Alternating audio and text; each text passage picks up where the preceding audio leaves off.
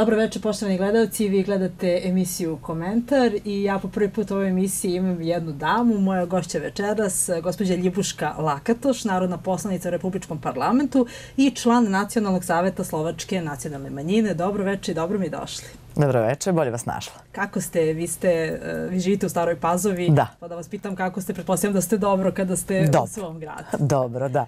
Evo odmah na početku da vas pitam o radu Nacionalnog saveta, šta on e, zapravo predstavlja, čime se bavi, on deluje u četiri oblasti, pa čisto da kažemo evo građanima koji, e, koji ne znaju.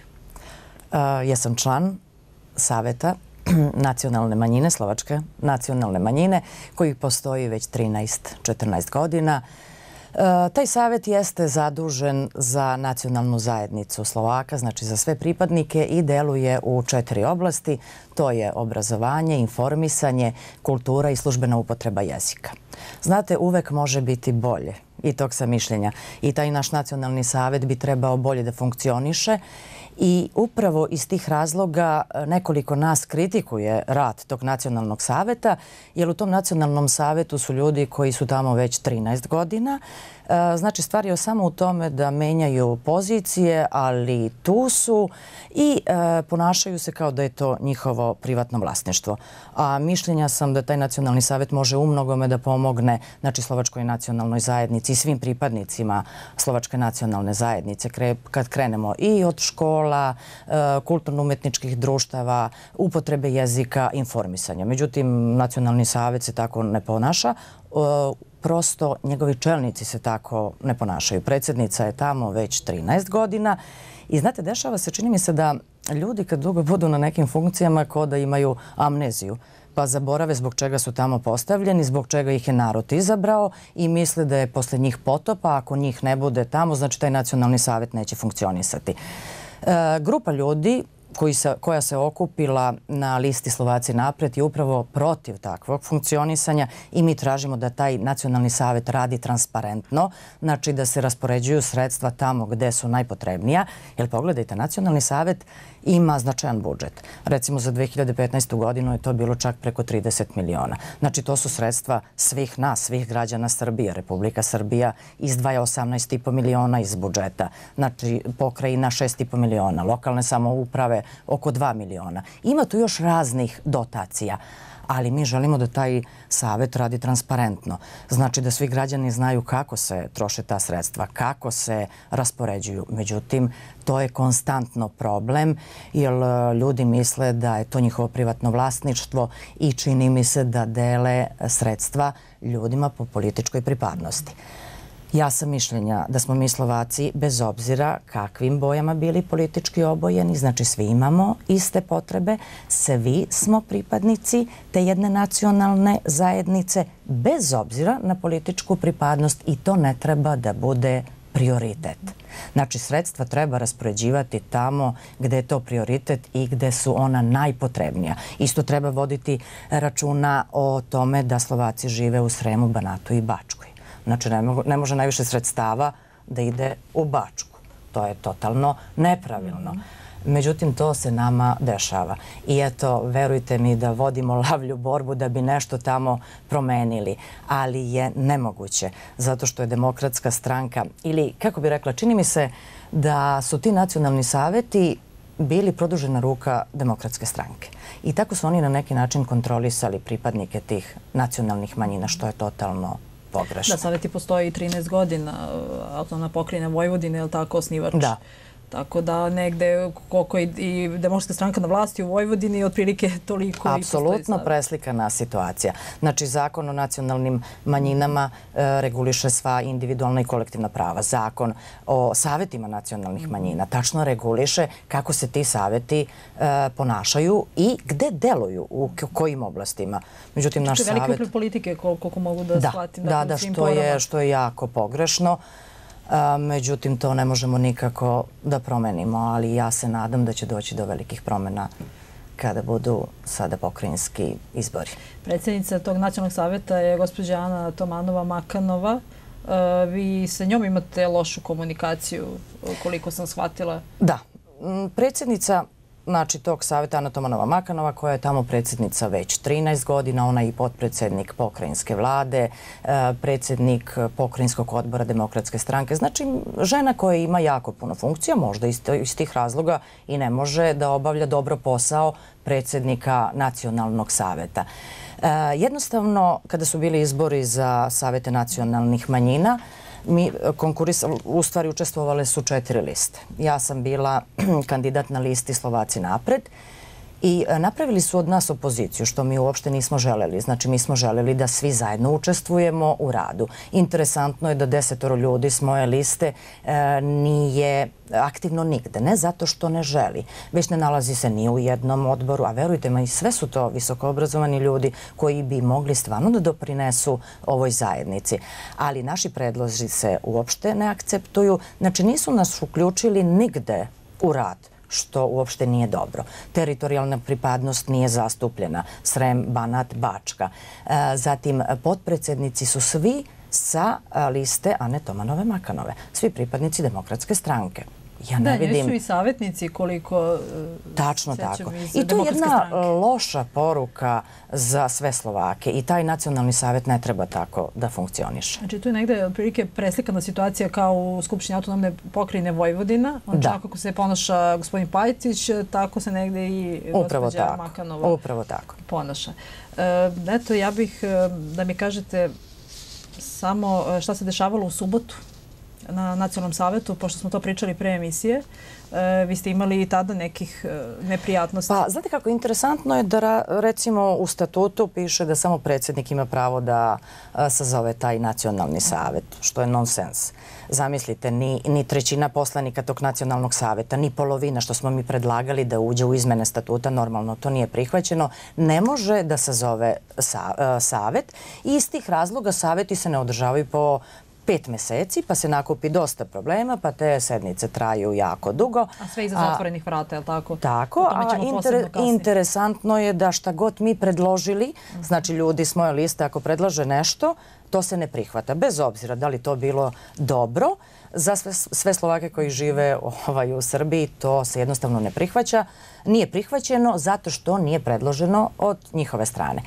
E, jako loše funkcioniše taj savet. Da vam ne pričamo o izveštavanju ili o zapisnicima, ja mislim da građani treba da budu obavešteni o tome šta se dešava na tim sednicama. Mi smo e, došli do toga i izborili se da na sajtu Nacionalnog saveta bude postavljen zapisnik. Ali i ti zapisnici su šturi znači piše da je u raspravi učestvovala osoba ta i ta, ali ne o šta je komentarisala, šta je pričala, da li se složila s nečim ili ne. Ne možete da saznate, znači, građani ne mogu da saznaju. Ni u medijima ne postoji tako uopšte. Pogledajte, Hlas ljudu su po meni režimske novine koji izveštavaju znači, u aktivnostima Slovačke nacionalne e, manjine, međutim izveštavaju onako kako to odgovara nekom. Opet je tu iskrivljena slika, ne prenose se prave informacije, a mislim da to Slovaci nisu zaslužili. Jednostavno trebalo bi da znaju šta se dešava i da im se prenesu prave informacije. I evo da kažemo, kakav je e, po vama ovako e, položaj uopšte Slovaka u Vojvodini, dakle na cijeloj teritoriji? Posle ćemo reći posebno u Staroj Pazovi, ovdje su čini mi se u najpovoljnijem položaju, ali i generalno kad govorimo o Vojvodini, e, kako danas žive Slovaci ovde?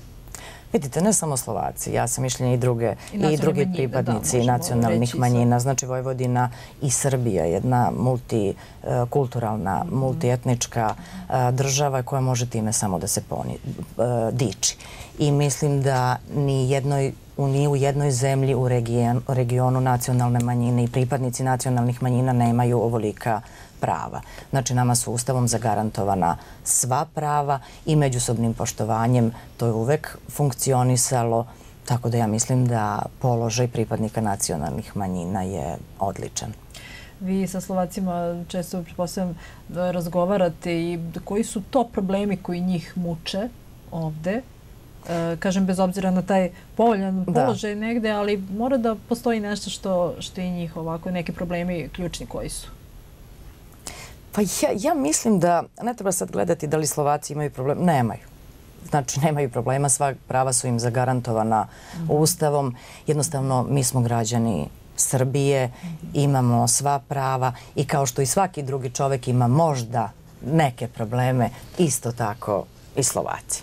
Ali evo, pokrajinska vlada nikada nešto specijalno nije vodila računa o nacionalnim manjinama, da kažemo i demokratska stranka, dok Srpska napredna stranka upravo čini suprotno.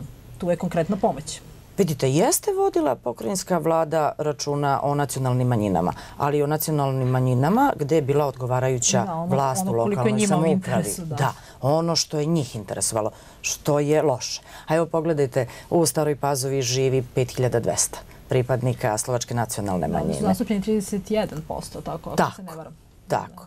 I To je znači domicilno stanovništvo. E, tu je od uvek bio jedan suživot Slovaka i Srba. Nikad nije bilo nikakvih problema.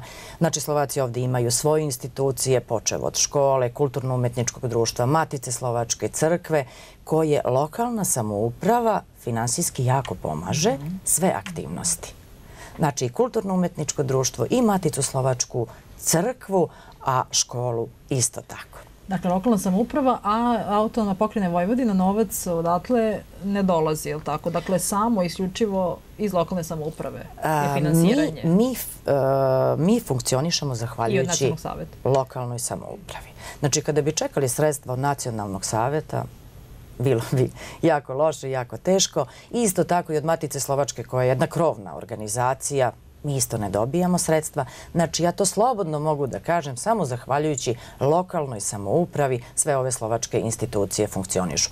Možda je nekad nacionalni savjet, sećam se da je dao nekad nacionalni savjet neka sredstva u kulturno-umetničko društvo, ali verujte mi da je to bilo tendencijosno zato što su sledili izbori. To nije dobra priča. Da, to stvari nije ona priča pred izbore. Da. Očekujem vjerovatno da će i sada da se, da se desi slična situacija. Najvjerovatnije, ali ja ne verujem da će se to desiti u Staroj Pasovi. Vidite, to je taj problem nacionalnog saveta, jer e, on ne razmišlja da i ovdje Slovaci imaju neke potrebe i da i ovdje treba rasporediti sredstva. Ali ovdje je vlast e, vrši Srpska napredna stranka i onda sredstva iz pokrajine i Slovačkog nacionalnog saveta ne dopiru do stare pasove. Ovdje nema ni problema nezaposlenosti, ovdje je neprepolovljena nezaposlenost zahvaljujući dobrom radu e, predsjednika opštine gospodina Đorđe Radinovića i njegovog tima.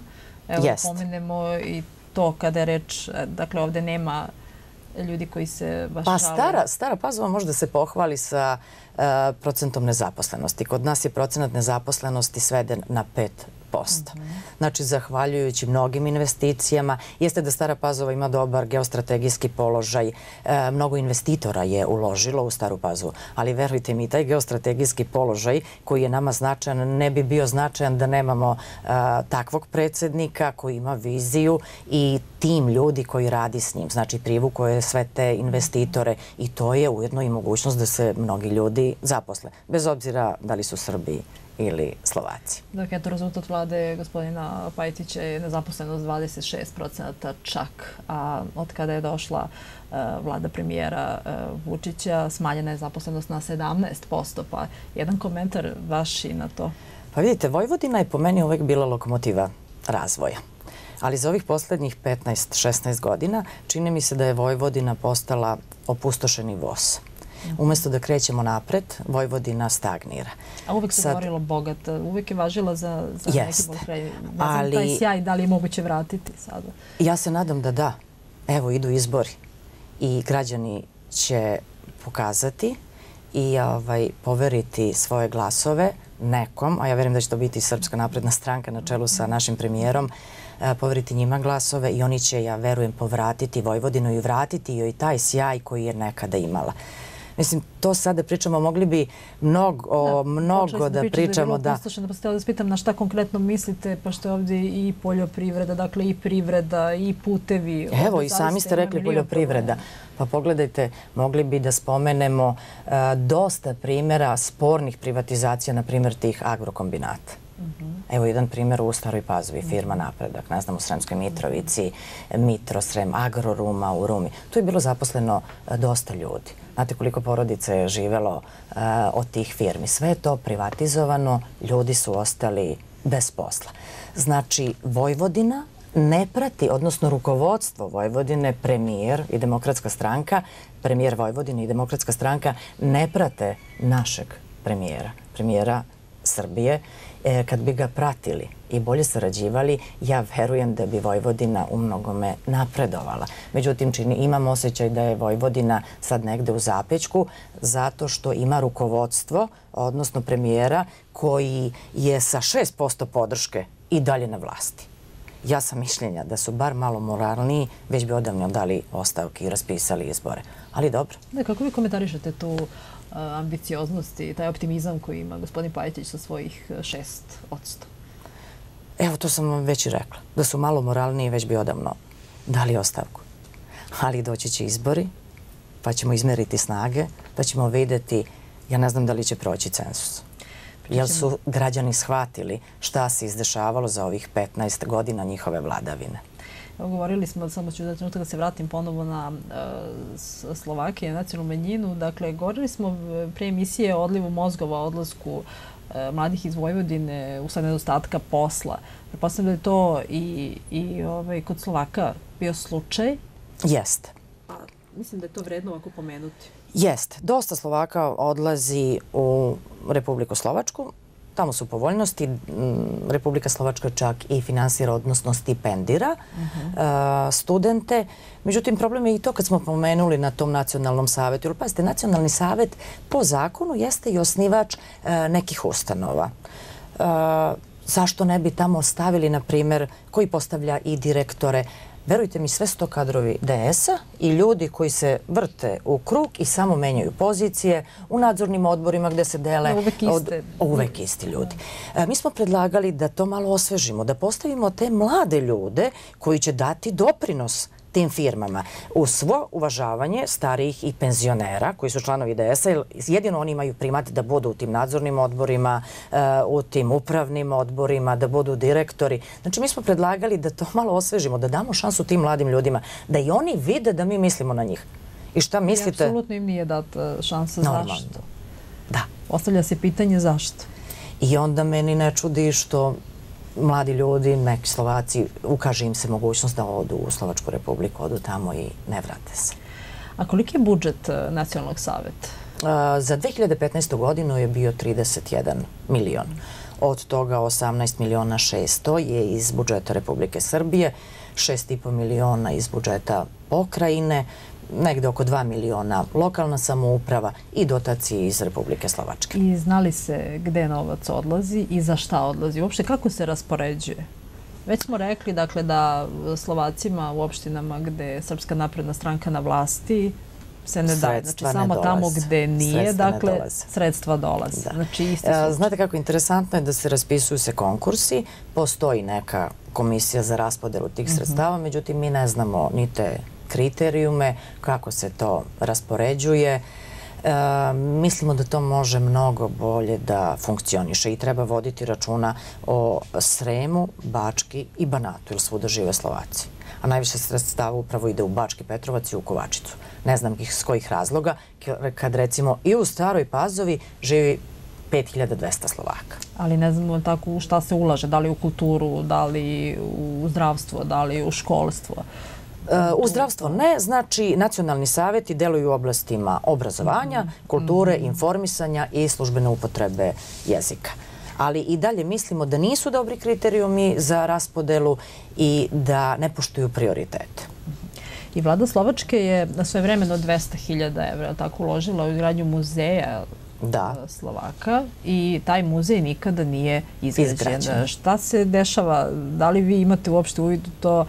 E, imate li e- neku informaciju zašto to nije izgrađeno, šta će se s tim dogoditi, gde je otišao taj novac? Evo i mi smo pitali ovaj, predsjednicu i rukovodstvo nacionalnog savjeta gde su ta sredstva. Kakav je njen, koji je njen odgovor? Verujte mi, nismo dobili adekvatan odgovor, ali ja verujem da će se to rešavati i da ćemo saznati. Dakle, on ne želi da odgovori na to pitanje, kao što gospodin Pajcić ne želi da odgovori na pitanje vezano za Heterland.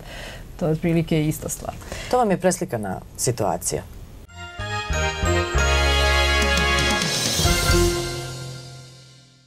Dobro večer, poštovani gledalci. Ako ste od ovog trenutka sa nama, moj gost je gospođa Ljibuška Lakatoš i nastavljamo priču. Dakle, Nacionalni savjet Slovačke nacionalne manjine je e, malo ulagao u kulturu. E, također niste imali uvid u to kako se vrše ti konkursi i kako će novac biti raspoređen. Pa evo da pomenemo i to, dakle, tu je bio negde najveći problem kada je reč o raspodeli sredstava u oblasti kulture.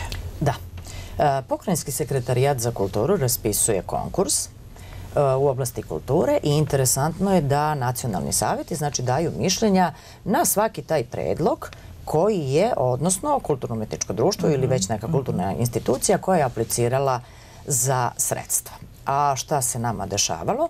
Da su već na sajtu pokrajinskog sekretarijata izašli rezultati, a mi smo tek na nacionalnom savjetu izglasavali komisiju.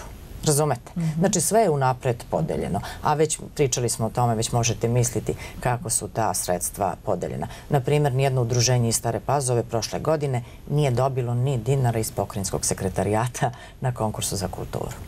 I sad se pitanje postavlja zašto? Da, Jel vidite? Nacionalni savjet ne funkcioniše dobro i protiv toga se borimo, ne treba tako da funkcioniše. A da li ste bar na to pitanje dobili, pošto evo pričali smo opredeni da na mnogo pitanja niste dobili odgovore, da li se tu zna zašto Stara Pazova je ostala tako negde? Zašto takav maćehinski odnos prema, pa prema opštini Stara Pazova? Ja upravo mislim zbog vlasti koju ovde vrši Srpska napredna stranka. Mm što stalno tvrdim da je pogrešno ili ovde žive Slovaci. Da, samo što to oni tako konkretno ne govore.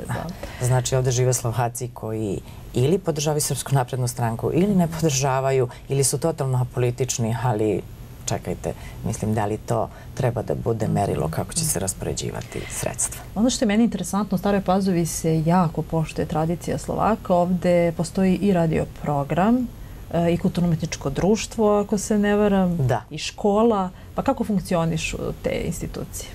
Vidite, sve to dobro funkcioniše. Znači, te četiri institucije su uvezane. Slovaci su ovde došli davne 1770. godine i od tad su održali ovde svoj jezik, tradiciju. E, znači, imamo osnovnu školu e, gde se obrazuju deca na slovačkom jeziku, kulturno-umetničko društvo e, koji ima dosta članova i znači održava tu svoju tradiciju, Matica Slovačka, crkva. I ovdje se jako poštuje jezik, koliko ja mogu da čujem kad prošetam ulicom uvek e, govore malo srpski pa onda slovački, e, potpuno ta neka dvojezičnost koja je jako interesantna. Znate što ja kažem nekad da smo mi Slovaci u prednosti, jer od rođenja smo bilingvalni. Pogledajte, mi odmah pričamo i slovački i srpski koji je jezik sredine i mislim da je to jedno bogatstvo i eto jedna naša prednost. Ovde nikada, što je interesantno, nisu bili zabeleženi neki međunacionalni incidenti što je možda slučaj u nekim drugim zemljama. Ovde je Ne, ovde je e, suživot Slovaka i Srba i eto ja jednostavno ne znam, niti sam čula za takve primere i nema potrebe. Kad postoji međusobno poštovanje, kad poštojemo jedni druge, znači iz toga mi može biti samo dobar odnos. I kakav vi e, dalje položaj e, nacionalnih manjina, konkretno Slovaka, očekujete nakon izbora? Evo, premijer e, Vučić je na sednici glavnog odbora najavio da će biti održani parlamentarni, lokalni, vanredni, parlamentarni, lokalni i pokrajinski izbori. Pa koje su vaše očekivanja u tom smeru? A poslije ću vas pitati šta mislite Da. Pa ja, ja mislim da se i dalje ništa neće promeniti, samo može biti bolje. Jer vidite, nas sad i očekuje, e, ja verujem početkom ove godine, otvaranje poglavlja 23-24, koje se upravo tiču položaja nacionalnih manjina, ljudskih prava, pravosuđa. Tako da ja mislim da može biti samo bolje. Na kraju krajeva, ni u jednoj zemlji u regionu nacionalne manjine nemaju ovakva prava kao što je to ovde u Srbiji. Evo bih malo sad da prokomentarišem aktualno dešavanje, ono što je praksa u emisiji komentar kako i sam naziv kaže. Evo, e, imali smo tu nemilu situaciju u Beloj crkvi, dakle, gde je Srpska napredna stranka voljom građana došla na vlast, ali su odbornici demokratske stranke pokušali e, nasilno da, da uđu na sednicu i da spreče to, pa bio je, čini mi se, sličan slučaj u Kovačici. Jeste, ne moram pa eto da pomenemo oba slučaja jedan komentar. Vidite, već smo to pričali, o tome mislim da i građanima jasno. 15 godina neko vlada. Jednostavno kad vidi da ne može, onda treba da se povuče i da pusti nekom drugom. Evo šta se desilo u Beloj crkvi, isto to kao i u Kovačici. Znači, voljom građana, demokratska stranka više nije na vlasti, vlast vrši srpska napredna stranka. Mislim, građani su pokazali koga žele i tako treba da bude. Evo i opozicija nešto ovih dana priča stalno o nekom udruživanju gde će oni da poboljšaju, njihov program je sada tako da će oni da, da poboljšaju život građana i stalno kritikuju aktualnu vladu, a svedoci smo da kada su oni bili na vlasti da je dakle 250.000 ljudi otpušteno, iako je gospodin Tadić stalno govorio o nekih 200.000 novih radnih mesta. Sve su to bila obećanja i sve smo to već videli za 15 godina šta se izdešavalo i do čega su nas doveli, pa smo onda mi morali, odnosno naš premijer možda da sprovodi neke nepopularne rezove koji nisu e, bili popularni među građanstvom, ali jednostavno da bi e, spasili našu državu, da bi vodili odgovornu fiskalnu politiku, moralo je do toga, do toga da dođe upravo zbog politike za 15 godina koja se dešavala i znači tu politiku je vodila sada stranke koje su u opoziciji. Oni se sada spremaju, da li će oni ići u jednom frontu ili na dva fronta misleći da će prikupiti e, veći broj glasova, ja u to ne verujem jer su imali 15 godina da pokažu šta znaju i šta umeju i da vode našu Srbiju.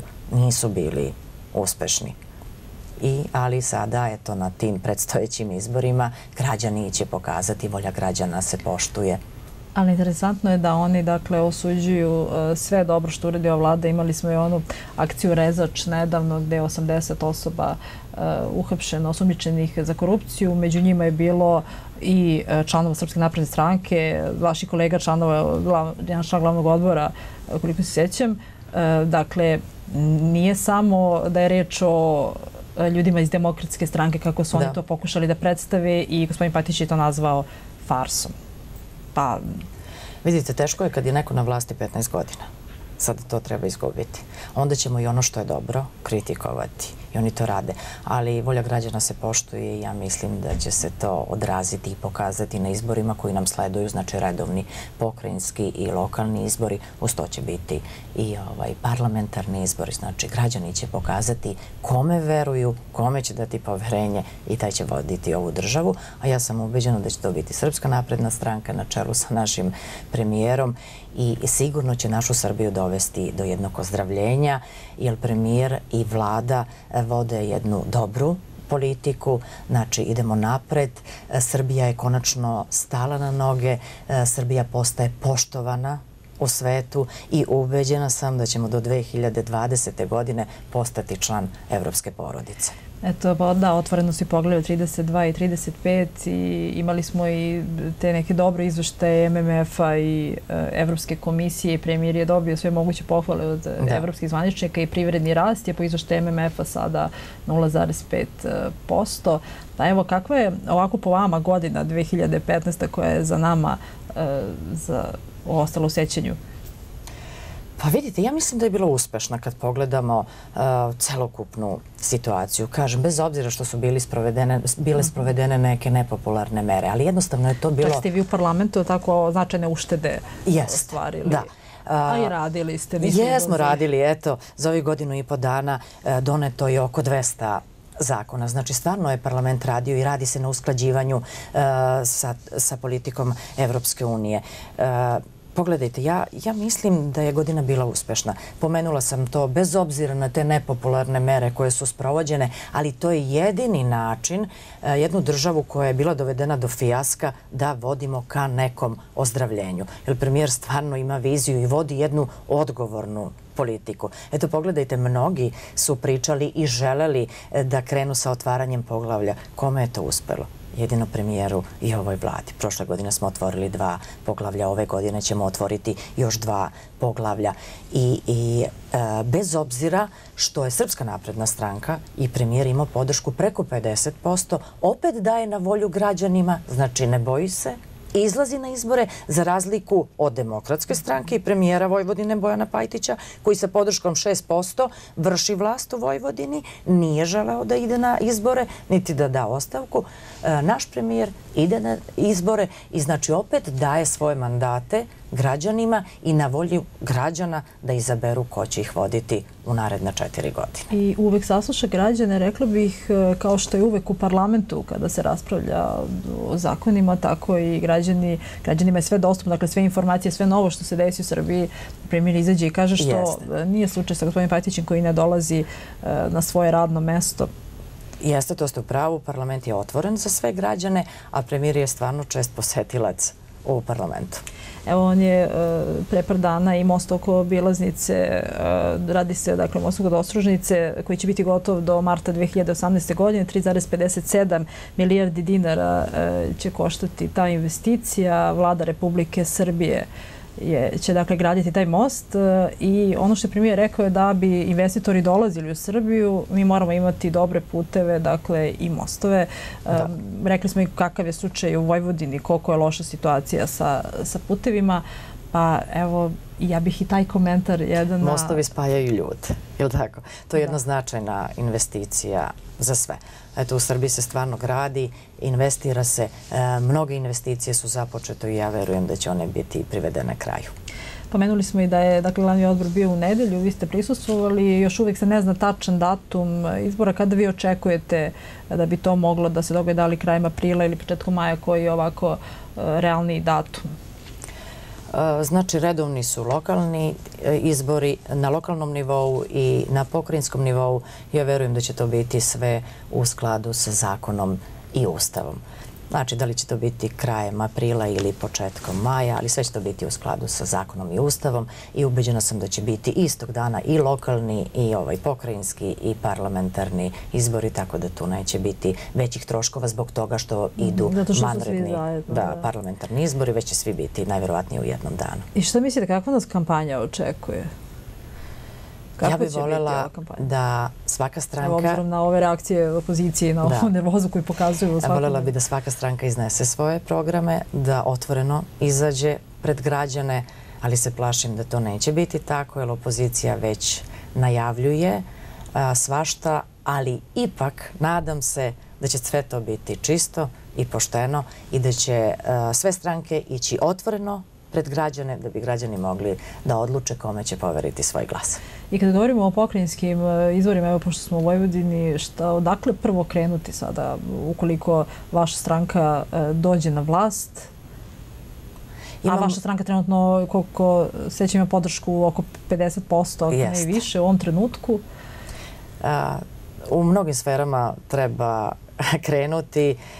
Ne znam šta bi sve trebala da pomenem. Znači, treba ozdraviti ekonomiju Vojvodine, ali ja, ja stvarno verujem u premijera i Srpsku naprednu stranku i verujem u građane koji su sigurno shvatili kome treba da povere svoj glas i verujem da će i Vojvodina opet biti lokomotiva razvoja ko što je nekad bilo. Kakva je vaša vizija? Kako bi Vojvodina mogla da izgleda u narednom periodu evo posle izbora i u nekim, e, kako je premijer rekao, da dolaze bolji dani za Srbiju? Sigurno, Vojvodina jeste I za Vojvodinu. žitnica bogata oblast gde žive divni ljudi koji su zaslužili mnogo bolje uslove i ja verujem da će biti tako. Eto, izbori su prilika da se to pokaže i da građani izaberu ko će ih voditi. Svakako se vidimo i posle izbora. Hvala vam puno što ste bili večeras gost emisije Komentar na televiziji Stara Pazova. Hvala i vama što ste me pozvali i drago ću učestovati opet kod vas. Poštovani gledalci, hvala i vama što ste bili sa mnom večeras. Vidimo se sljedećeg petka. Prijetno večer.